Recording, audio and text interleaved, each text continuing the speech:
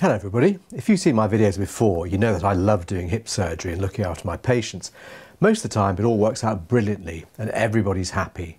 But you can't please all the people all the time.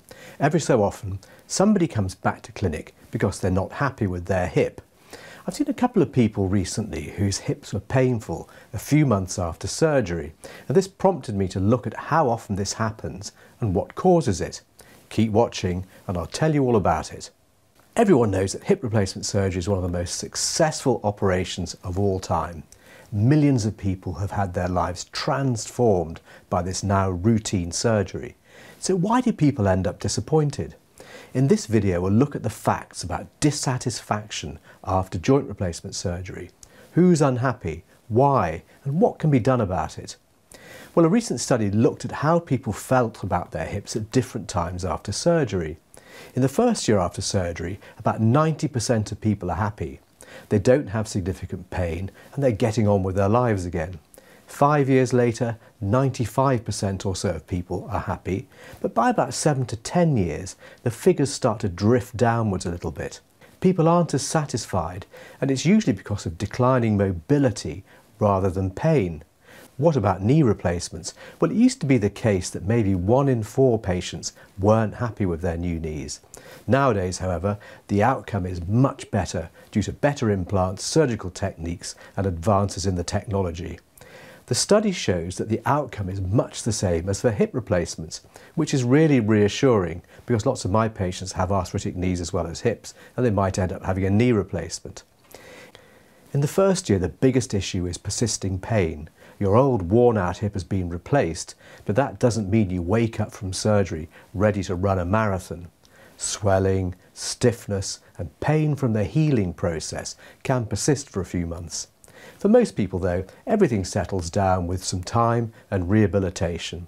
But for the others, it never really goes away, and that's frustrating both for you and for me as your surgeon. For some people, their mobility isn't as good as they hoped it would be. The hip feels stiff, and people sometimes say that their leg feels heavy and wooden. As we get older, our muscles get weaker and other joints start to wear out. We get generally stiffer and start to lose confidence. These symptoms might be due to problems with the hip implants, such as loosening, wear or infection. Sometimes people can react to the hip implants. If your other joints are stiff and painful, this can put extra strain on your new hip. What about the longer term though? Well, most hip and knee replacements will be expected to last 15 to 20 years or more. Hip replacements can wear out over time and this can lead to loosening of the components. This usually causes pain, typically when you stand up after sitting down for a while. We call this start-up pain. The hip just doesn't feel right. If this happens, you might have to have revision surgery. This can be quite complex surgery with a longer recovery time at a time of your life when you might have other medical problems.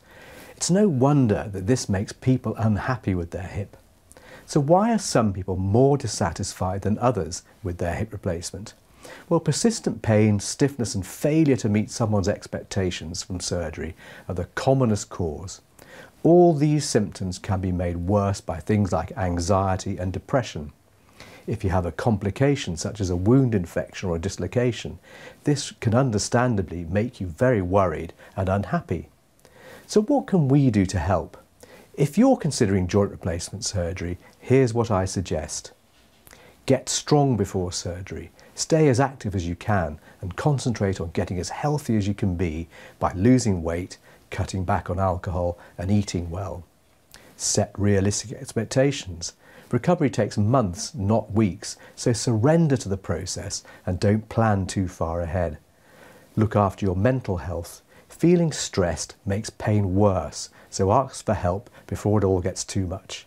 After surgery, keep going with your physiotherapy. It's really important. Get on top of the pain, take your painkillers as prescribed, and have plenty of rest. I really can't stress too much how important this is. Lie down if you feel tired. Don't fight it. So what can I do to help if you aren't happy? What most people want more than anything is to make sure that there isn't a serious problem with their hip. My job is to listen to you, make a diagnosis and come up with a plan. Most of the time, that's all that's needed.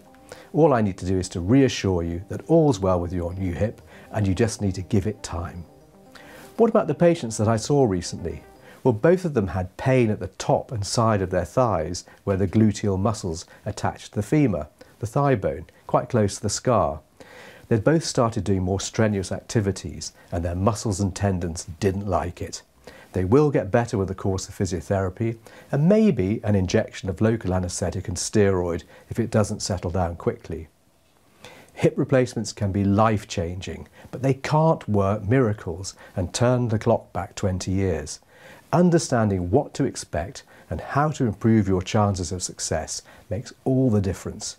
Have you had a joint replacement? How was your experience?